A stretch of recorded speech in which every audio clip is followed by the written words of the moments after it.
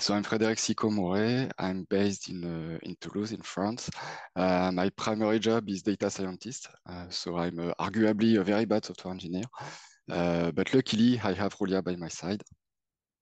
Hi, everybody. I'm Julia Page. I'm a tech lead for the inner source and open source initiative at Airbus, and I'm based in Hamburg, Germany. So you probably know uh, our Airbus uh, aircraft, and you may have uh, flown on, on one of them already. Uh, and we build more than just uh, commercial aircraft. We have uh, defense and space divisions who build military aircraft, satellites, and, and other spacecrafts. And we have an helicopter division. So all in all, we have more than 130,000 employees on every continent. So Airbus wasn't built uh, in a day. Uh, it wasn't founded in someone's garage.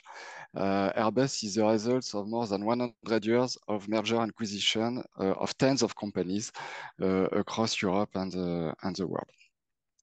Uh, and nowadays, uh, we have only a single brand, the Airbus brand. All our products are, uh, are sold under this brand, and the, the corporate structure is, is much leaner than, than it used to be.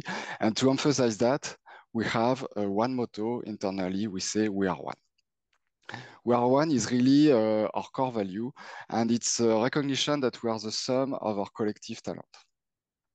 And one example uh, I personally worked on as a data scientist is a natural language processing library. So at Airbus, we have this very technical language, uh, aeronautics, it's very domain specific, uh, and we have the, the diversity of all the languages of our core countries. Uh, so at Airbus, we have uniquely hard NLP uh, challenges. So uh, data scientists across the group, divisions and countries, they collaborated on a, a natural language processing library to tackle Airbus uh, language. It was uh, quite successful. It was used by uh, many data analysts across many functions and, and divisions. We were doing inner source without even knowing the, the word. so hashtag we are one or are we? Uh, some uh, some investigation we realized that we are not uh, allowed to do that. Uh, there was a little footnote in the "We are one" uh, motto that very, very few people uh, saw is that we are one, but we are not one in front of the law. Uh, we still have many uh, legal entities, even in the same country, and we are what we call the arm's length. Uh, so we should consider each other as independent parties, and we have to deal with transfer pricing and uh, an IP rights uh, assignment, even for a small uh, Python library. And this was largely unknown to working level developers. Uh, so the first things we did is to pause uh, collaboration. It was really frustrating, but uh, the asset was consumed uh, in many places and we were not even tracking it. So there was no way we could do the, the, the needed paperwork uh, to, to mitigate that. But in the way, we met uh, colleagues from, uh, from IP and they had uh, many questions regarding software coming from all over uh, the, the division and, and, functions. And, and they acted really as a central hub. They, we make a lot of connections through, through them. And at some point, they were redirecting all uh, open source and inner source questions to us, uh, not, not IP team. But so the community was uh, was growing thanks to to IP from from the start, and we started uh, an event series that we called uh, TOPS for Transform to to Open Software, where we welcome an external speaker. Uh, who share what they, they are doing, so for, for external uh, benchmark. And then we have uh, internal workshops to share anything regarding open source and inner source happening at Airbus. And that's also at the time we discovered the inner source uh, Commons and it gave us a lot of food for thought to, uh, to make an initiative. So uh, the community was getting uh, bigger and bigger on, uh, on every uh, event. And we also have many well-minded middle managers uh, were convinced uh, and very pragmatic uh, managers, and they opened the doors to higher management and also to uh, affiliates and other uh, the, and other divisions. Uh, so bigger, higher, and broader was really the, the journey on the 2021 and 2022, and we eventually got the sponsorship to present what we were doing on on open source and inner source to what we call the IAM leadership team. So Airbus CIO and the divisional peers. And we got the go to create an ad hoc team to tackle anything regarding open source and inner source. So for us, OSPO, uh, in OSPO, OS stands for open software. Uh, for us, inner source and open source are just different level of, uh, of openness. And we have the three dimensions of inbound open source, outbound open source, and uh, inner source. So since inner source was thought to have the, the business, the biggest business impact, uh, we started with it, and it's currently uh, the most mature stream uh, in our in our OSPO. Uh, so this OSPO is distributed. Uh, here you can see a picture of the core team uh, from from Airbus Commercial Aircraft. So I'm I'm on the right and Julia is uh, is on the left. We have similar size team in helicopters and, and defense and space, plus uh, contacts in IP, tax, uh, etc. So since we started with uh, inner source and the, the root cause come from uh, tax regulations, uh, we came to our tax center of competence and we asked them whether we can derive uh, a transfer pricing directive uh, specific for, uh, for software. we explained them how we build software, how the open source world is working, and why we wanted to enable inner source way of working internally. So we drafted uh, a memorandum that was circulated in the tax uh, community for, uh, for approval. And once we got that, uh, we came back to our uh, IP colleague and asked them if we can derive licenses that will cover various needs in terms of, uh, of inner source and that will be available off the shelf. So they will protect Airbus IP and at the same time comply with the inner source transfer pricing directive. We also build portals and training, uh, and, and is going to talk about it uh, later. So now that we have more or less solved the, the legal burden, uh, all of a sudden we were able to enable uh, many uh, communities, teams that were natively working uh, cross-divisionally or, or, across different countries. and, and it was really a really good for, for them that they, they could work, uh, they were enabled suddenly thanks to, to these licenses. Uh, now we want to go beyond uh, this uh, set of, uh, of, early adopters. We want to make the scheme uh, uh, rewarding. And as we speak, we are running an inner source awards internally. and Rulia is again gonna talk about it afterward. Finally, all the relevant documentation has been put on uh, what we call the Airbus Business Management System. So it's the official repository of uh, processes to run the company. Uh, so the scheme is not actually required, it's not enforced. I, I don't believe you could enforce uh, inner source, but at least it's an official policy that is there for every Airbus uh, developers and managers to, to use. So now Julia is gonna talk about our technical stack that we deploy.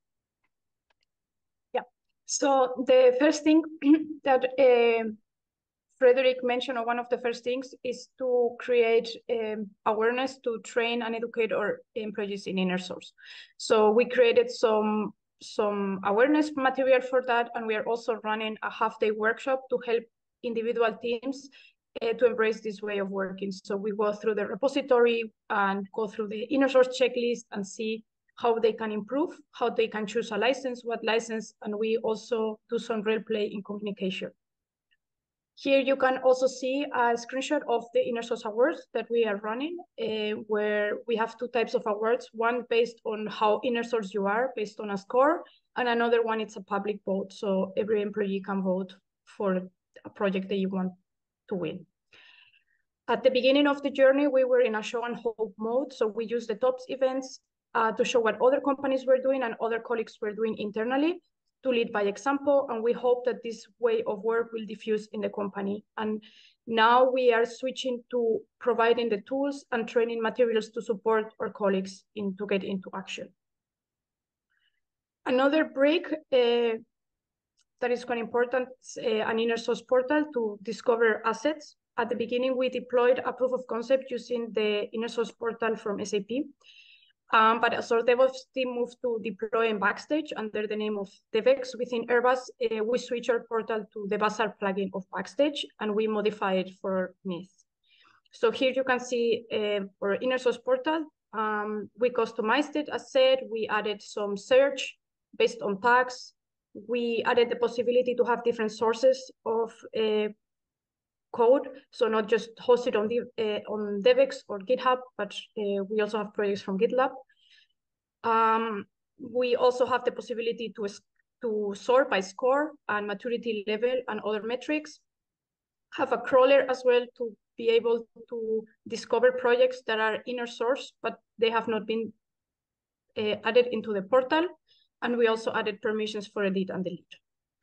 Here you can see a card of a project uh, where we get the metadata, in this case from GitHub. We can see the license, the maturity level, the status based on the activity of the repository, uh, the score, which uh, when you click, you see that graph on how well you're doing in each access, and it's based on the repository information and the award voting feature. We also have a metrics dashboard independent of uh, the inner source portal where we are tracking the adoption of the license, the maturity levels, and the technical bricks with time. So we can see how many projects have the files required or licenses and how this it's improving after certain events. For example, with the award, we saw that more people are included licenses. And after workshops, we also see uh, improvements. So we learned uh, a lot along the way. So first, uh, developers are now uh, less naive than they, they, used to be. And, and, and, actually, we can organize ourselves to uh, change how uh, we can do software engineering at, at Airbus. Uh, it was really a, a great success uh, for us. And it was actually much needed, much expected by people. So at Airbus, when we talk about engineering, we are talking about aerodynamics, structure dynamics, this kind of stuff.